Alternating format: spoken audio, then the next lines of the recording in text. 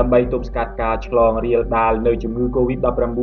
រាជរដ្ឋាភិបាលកម្ពុជាបានដាក់ចេញនូវវិធានការធំៗចំនួន3គឺវិធានសុខាភិបាលសំដៅដល់គោលការណ៍អនាម័យនិងការការពារខ្លួនមិនឲ្យឆ្លងជំងឺវិធានការរដ្ឋបាលគឺការបិទគប់តំបន់ឬភូមិសាស្ត្រដែលមានការឆ្លងរាលដាលធ្ងន់ធ្ងរនិងវិធានការច្បាប់សំដៅដល់ពិន័យទោសទណ្ឌចំពោះជនដែលល្មើសនឹងវិធានទាំងឡាយ ធ្វើឲ្យគោលការណ៍ដែលបានដាក់ចេញមានលក្ខណៈស្របច្បាប់ និងជួយឲ្យវិធានទាំងឡាយអនុវត្តដោយប្រសិទ្ធភាព។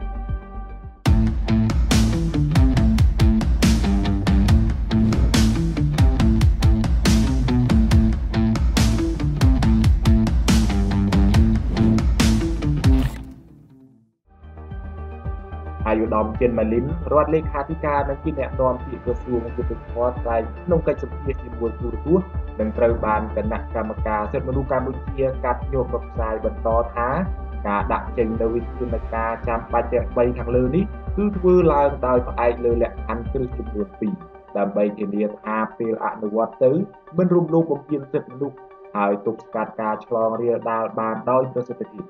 អ្នកនាំពាក្យរូបនេះបន្តថាលក្ខខណ្ឌគ្រឹះទាំងពីររួមមានទី1មជ្ឈដ្ឋានអន្តរជាតិសំដៅដល់ការអនុវត្តរបស់ប្រទេសនៅលើពិភពលោកនិងប្រទេសនៅក្នុងតំបន់ដែលប្រកាន់យកលទ្ធិប្រជាធិបតេយ្យដូចជាកម្ពុជាដែរទី2គឺអនុលោមទៅតាមសេចក្តីថ្លែងការណ៍អនុសញ្ញាកតិកាសញ្ញានិងច្បាប់អន្តរជាតិស្តីពីសិទ្ធិមនុស្សទាំងឡាយដោយយោងទៅលើគោលការណ៍3 ទី1រាជរដ្ឋាភិបាលព្យាយាមធ្វើយ៉ាងណាមិនឲ្យប្រជាពលរដ្ឋបាត់បង់នូវសិទ្ធិសេរីភាពផ្នែកណាមួយឡើយប្រសិនបើមិនចាំបាច់ហើយរិះរកគ្រប់មធ្យោបាយដើម្បីឲ្យប្រជាពលរដ្ឋរួចផុតពីជំងឺនិងរក្សាបាននូវស្ថិរភាពសេដ្ឋកិច្ចនិងសង្គម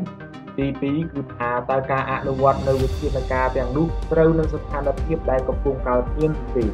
និងគោលការណ៍ទី3គឺអនុវត្តជាបណ្ដោះអាសន្នមិនអចិន្ត្រៃយ៍គោលគឺអនុវត្តតែនៅក្នុង បរិបទ COVID-19 និងករណីមានជំងឺឆ្លងការសាហាវណាមួយប៉ុណ្ណោះ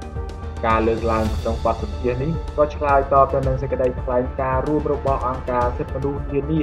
ដែលខ្លឹមសារខ្លះនៃសេចក្តីថ្លែងការណ៍ទាំងនោះទំនងជារិះគន់ដល់វិធានការរបស់រាជរដ្ឋាភិបាលថាបានរំលោភសិទ្ធិសេរីភាពរបស់ប្រជាពលរដ្ឋ